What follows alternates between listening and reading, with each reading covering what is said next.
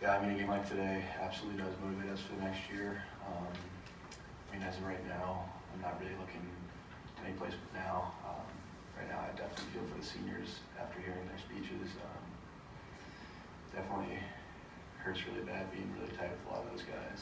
And um,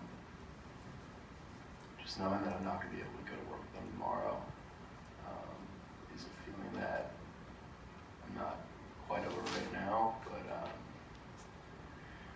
Course, going forward, there's a lot of work we need to put in. And um, you know, I'm confident in the guys that we have um, you know, in that room.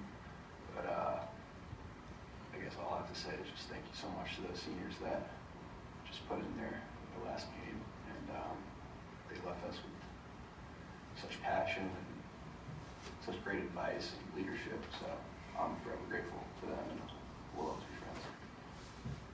Yeah, Brad said best. I mean, it's hard to look at to next year right now when we just kind of put everything on the field. But um, you know, when this passes, I'm sure that it, it'll drive us to no extent.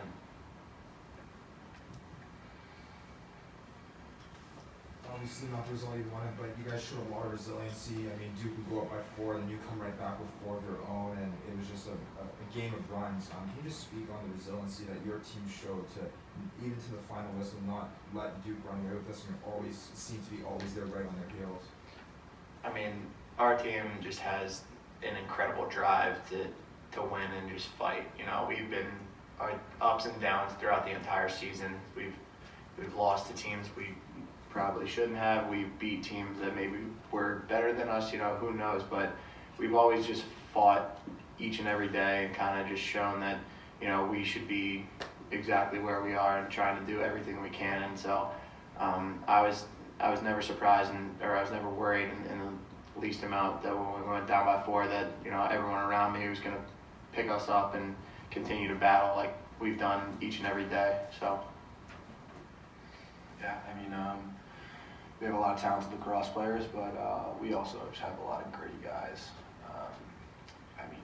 One of my best friends, Charlie Leonard. I mean, just to see the way that he comes in as a long stick midi as a freshman, and now he's best face-off guy in the ACC. I mean, he just has my utmost respect, and just you know, guys like that who just go to work every single day and they don't complain, and all they want is best for this team. So when we look at the scoreboard and we're down four at any point in the game, I mean, like, you know, we look at each other and we always know that we have each other's backs. So especially a part of something like that. Uh, this is for both lines, but uh, what was how did the dynamic change on offense when Ryder did come back into the lineup?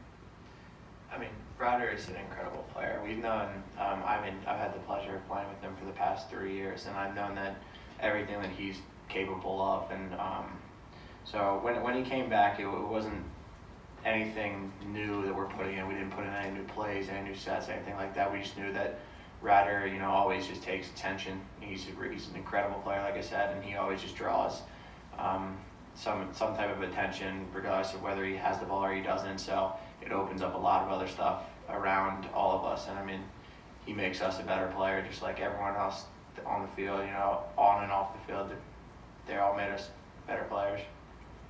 Yeah. Um, Ryder's an unbelievable talent, but he's a competitor first.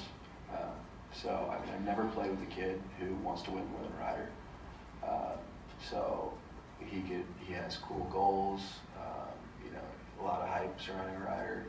Uh, he handles it so well, um, and I think that just speaks to you know, the type of kid he is, and he really, he just wants to win, it's that simple. So, I mean, having him back, um, on top of the talent that he brings is just like that fire and that energy. And um, I mean, he, he's like a little kid. It's funny. I mean, he just, it reminds me of when I play with him, it just reminds me of when I was in like, you know, middle school, you know, wanting to win that championship on a hot summer day, you know, tournament style. And he just brings that, that extra energy and fire that is just so fun to play with. So Kind of to piggyback on that, I mean, he just, um, and you can see it in anything he does. You know, he's just always the most competitive kid out there. Um, you'd be playing, you know, FIFA against them, and he's calling you names and stuff, and just like he is, he his desire to win is just incredible. Kevin, same question. I mean, what, what does Ryder add when he's out there, and then what did he show you today? You know, I, I think he's got a, a unique skill set. He, he, he, he draws a lot of attention, you know, when, when the ball gets in and out of his stick, you know, I mean, he just sees the field, he, he knows the plays to make, and he can make a lot of different plays. You know, they're, they're not, not everybody has the range of plays that, that they can make like he does, so, uh, you know, guys like that make people around him better. Any more questions for the student athletes? Gentlemen, if you want to take, if you can, Thanks, guys. Thank you. just talk about today's game. Two, pretty evenly matched teams, one and one coming in. So There's no surprise we go to overtime, you know, to settle it on the season. Disappointed that we, you know, had the ball at the end of the game and, and couldn't find a way to, to put one in, in, you know, with, with two timeouts, we, you know, you'd like to have thought we would have been able to find a way, but listen, they're a very good team, you know, we, we just didn't make enough plays. Any questions?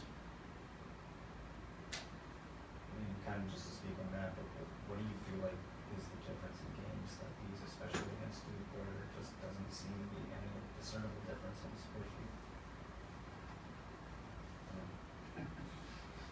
Today, one play.